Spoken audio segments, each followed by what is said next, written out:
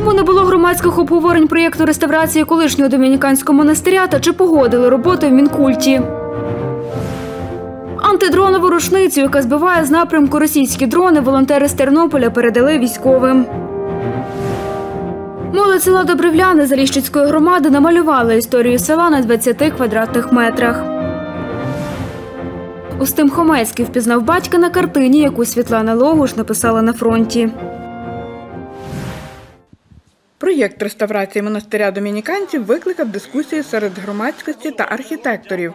Під час зустрічі з представниками Тернопільсько-Зборівської архієпархії тернополяни вимагали пояснень, чому не було конкурсу та громадських обговорень проєкту. Закон про архітектурну діяльність його стаття 6 говорить, що виключно на конкурсній основі здійснюється розроблення проєктів об'єктів архітектури, реалізація яких має суттєвий вплив на розвиток і формування забудови населених пунктів, а також об'єктів, які розміщуються в зоні охорони пам'яток історії та культури, так як об'єкт є пам'яткою відповідно і знаходиться в цій зоні, і так само має він вплив на просторовий образ міста, то в цьому випадку таки треба архітектурний конкурс.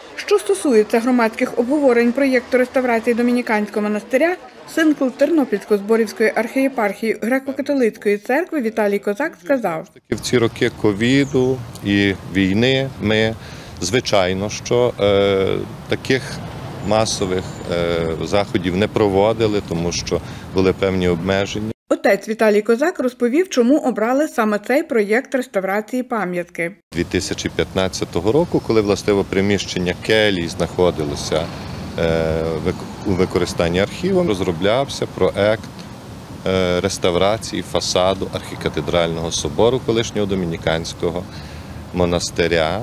І е, тоді цей проект був розроблений і пройшов відповідні затвердження. Автором цього проекту був пан Юрій Вербовецький. За словами Юрія Вербовецького, проєкт реставрації домініканського монастиря погодили на місцевому та державному рівнях. Протокол архітектурно-містобудівної ради. Наступний крок це консультативна рада охорони культурної спадщини при обласній державній адміністрації. Погодження Міністерства культури науково-проектної документації. Після погодження Міністерства культури ми проходили експертизу проєкту реставрації та пристосування домініканського, е, колишнього домініканського монастиря. Ми звернулися до Міністерства культури України, щоб з'ясувати, чи погодили проєкт реставрації монастиря. У міністерстві відповіли, що в 2021 році Міністерство культури та інформаційної політики України погодило науково-проєктну документацію об'єкта реставрація та пристосування приміщення колишнього монастиря домініканців 1749 року, пам'ятки архітектури національного значення під релігійно-освітній центр з громадськими приміщеннями загального користування. У квітні 2023 року міністерство надало дозвіл на проведення робіт з реставрації та пристосування домініканського монастиря одній з будівельних компаній Тернополя. Любов Гадомська, Андрій Бодак, Василь Панчук, Суспільне новини, Тернопіль.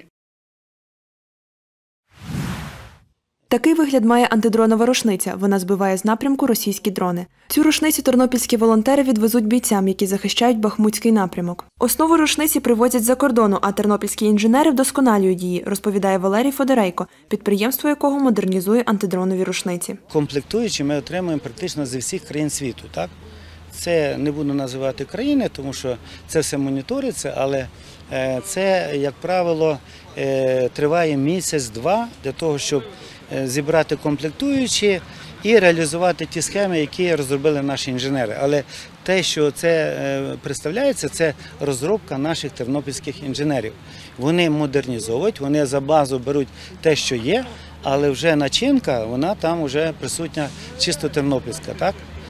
Володимир Масейко каже, що також військовим передадуть продукти та зарядну станцію. Її попросили хлопці, які зараз на передовій. Це дуже хороша річ, щоб взяли собі, зарядили.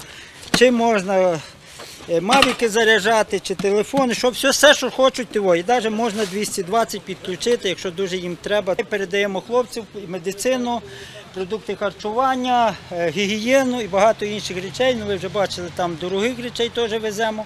Веземо все, що можна передати.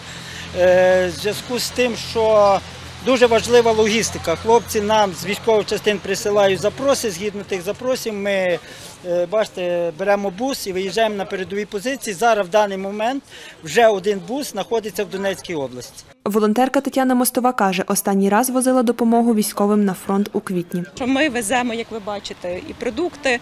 Зараз літо гаряче, вода дуже хлопцям багато потрібно, маскувальні сітки, медицину. Весь оцей набір, який вже від повномасштабного вторгнення і до повномасштабного вторгнення, звичайно, ми возимо, тому що потреби є завжди. Наталія Бончук, Андрій Міц, Суспільне новини, Тернопіль.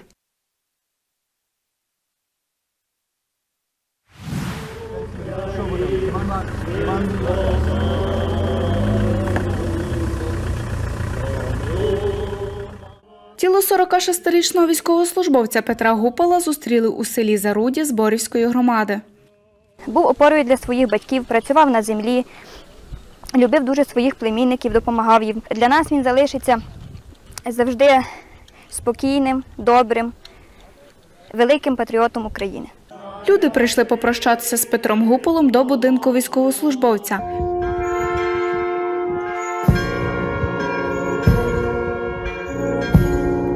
Чин похорону провели у храмі Воздвиження чесного і животворящого Христа в селі Заруддя. Петрові Гуполу вручили повістку у травні цього року, розповідає місцевий житель Богдан Дзісь.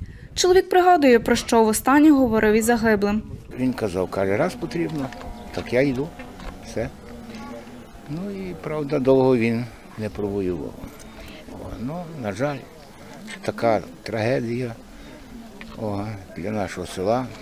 Петро Гуполо був стрільцем гранатометником. Військовослужбовця вважали зниклим безвісти від 17 липня, розповів тимчасовий виконувач обов'язків начальника другого відділу Тернопільського територіального центру комплектування майор Андрій Мохнатий. Загинув в напрямку Бахмутського району, захищаючи наші позиції від ворога, боронячи територіальну цілісність, незалежність та суверенітет нашої держави. Поховали Петра Гупола у рідному селі Заруддя. У нього залишилися батьки, брат та сестра. Тетяна Панченко, Суспільне новини, Тернопільщина. Історія добрівлян на муралі. Стінопис створили дівчата, які живуть у селі. Ініціаторка проєкту, 17-річна Юлія Гірчак, розповідає: вибрали місце біля центрального стадіону, аби малюнок побачили якнайбільше людей. На стінописі зобразили місцеві історії та легенди. На першому малюнку зображено легенду про добру Уляну, яка колись проживала по легенді в нашому селі, допомагала людям, була напевно меценаткою. Ну ми так здогадуємося по легенді, тому що дуже мало інформації про неї. Є на муралі й дерев'яна церква. За легендою, її у 1767 році водами Дністра принесло в Добрівляни з Прикарпаття, розповідає учасниця проєкту Софія Гев'юк. За її словами, до села цю церкву декілька разів приносило повінню, але жителі Прикарпаття її забирали. Проте востаннє люди церкву не віддали. Як малювалася церква, це було трошки складно, та як е, лінії, вони ж там треба було зобразити, як церкву несе. І трохи здавалося, на церква була крива, трохи рівніша. На третій частині муралу історія про місцевий фестиваль, який проводили на свято Івана Купала. Малювала мурал і Каміла Соценко. Дівчина приїхала до Добрівлян з тимчасово окупованої Новоукраїнки на Херсонщині. Каже, встигла ознайомитися з історією села. Не без допомоги інших людей, але малювали виноград. І я думаю, що це було теж досить важливо, оскільки раніше в Добровлянах знаходились виноградні плантації, які давали прибуток і, і не тільки вони розвивали, були таким собі мотором добровлян. Площа стінопису 20 квадратних метрів. Малювали його шестеро дівчат, каже ініціаторка Юлія Гірчак. За її словами, з бюджету Залішицької громади на матеріали для муралу виділили близько 10 тисяч гривень. Також матеріалами допоміг Добрівлянський старостат. Богдана Савицька, Оксана Галіяш, Суспільне новини, Тернопільщина. Дружина військовослужбовця Сергія Хомецького Наталія Коваль разом з сином Устимом прийшли у музей національно-визвольної боротьби Тернопільщини. Тут сьогодні розмістили картину, на якій військова художниця Світлана Логуш зобразила чоловіка Наталії. Сергій більше року служить на Харківщині. На картині боєць разом з собакою. Цю собачку він знайшов на вулиці. Вони її взяли, правда, потім на декілька днів була з ними, але тоді вони переїжджали і вони її ну, завезли в село і віддали.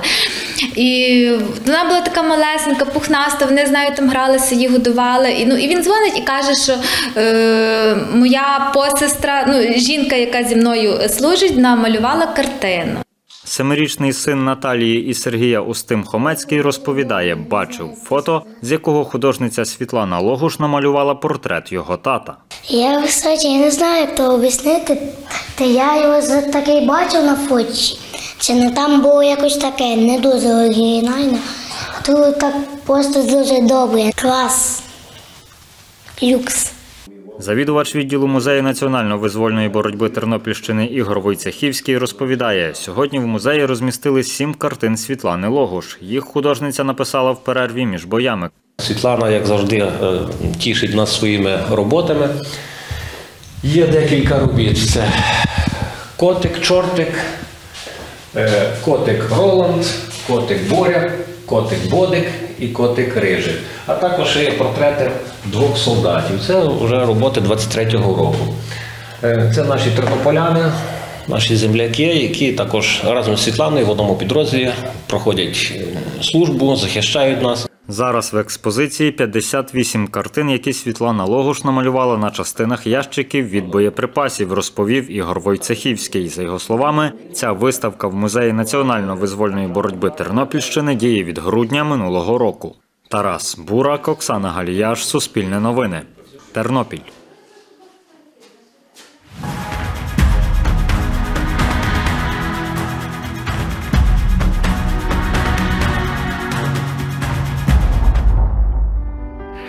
Я бажаю Збройним силам України перемоги. Скоріше, настільки скоріше, наскільки це буде можливо. Я бажаю Збройним силам України повернутися додому, повернутися здоровими і щасливими хлопцям та дівчатам, всім, хто зараз е, у Збройних силах України. Наша перемога це е, відсутність загрози зі сторони е, Російської Федерації то- та інших е, можливих е, агресорів проти України. Це наша повна буде перемога. Для мене перемогою буде повернення кордонів е, 1991 року. Це по-перше, та е, демілітаризація Росії настільки, наскільки це можна буде, буде зробити, та членство України у НАТО. Збройні сили України мають е, народну любов, повне, е, повну довіру. Ми маємо все, щоб перемогти, і ми переможемо у будь-якому разі. Але зараз ми, е, нам потрібно багато, багато нової зброї. Момент перемоги для мене це буде відчуття щастя, повного щастя. Але також це буде відчуття е, гірких спогадів, які будуть е, з усіма нами усе наше життя та життя наступних поколінь, е, всіх, хто пережив цю війну.